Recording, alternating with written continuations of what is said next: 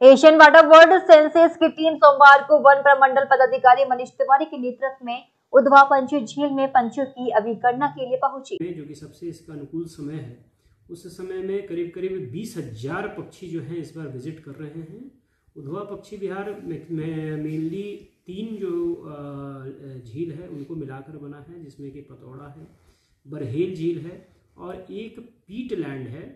वो उसका नाम पुरुलिया है। ये तीनों को मिला करके तीनों में अच्छे खासे तादाद में पक्षी हैं, किसी में पाँच हज़ार, किसी में दस हज़ार, और किसी में छः सात हज़ार के लगभग में हैं। तो कुल मिला करके अट्ठारह से बीस हज़ार के लगभग में पक्षी अभी इन तीनों झीलों के आसपास और उसमें निवास कर रहे हैं।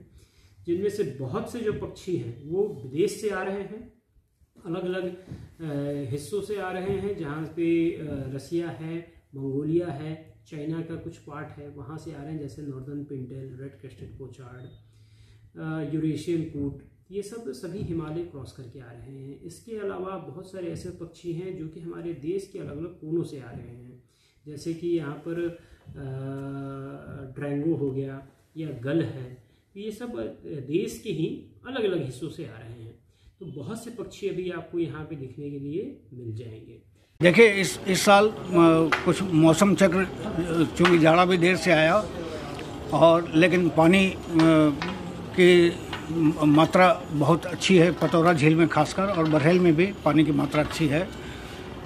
लेकिन पुरुलिया वेटलैंड में इतने पक्षी मैंने कभी उम्मीद नहीं की थी कि पाँच छः हज़ार पक्षी पुरुलिया वेटलैंड में होंगे और बरहेल में बतख जाति की प्रजातियों का बड़ी संख्या में दिखना, हज़ारों की संख्या में दिखना, ये एक सुखद आश्चर्य है।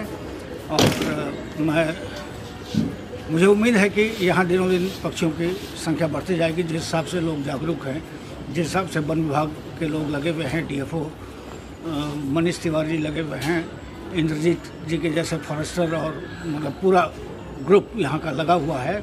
इसमें एक बात यह है कि अब स्थानीय युवाओं को इकट्ठा कर और उन, उनके थ्रू यहाँ जन चेतना के कार्यक्रम, प्रदर्शनियाँ, रैलियाँ बाकी ऐसे कार्यक्रम और भविष्य में होते रहने चाहिए। आपके अनुसार तो सर इस बार कुछ नई पक्षी देखी गई है क्या झील में?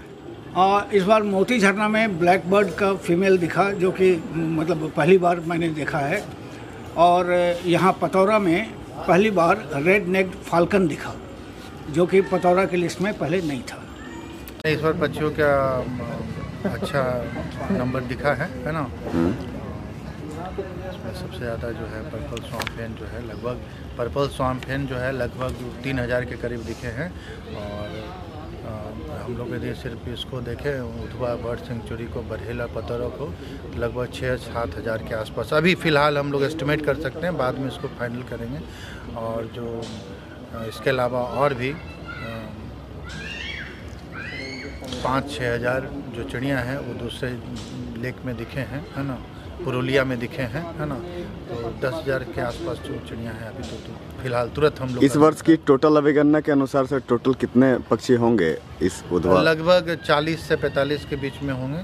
चालीस से पैंतालीस हज़ार। में वाटर बर्ड्स होंगे वाटर बर्ड्स कहते हैं पानी वाली चिड़िया होती है चालीस से पैंतालीस होंगे। अभी डाटा फाइनल करने के बाद क्लियर हो जाएगा।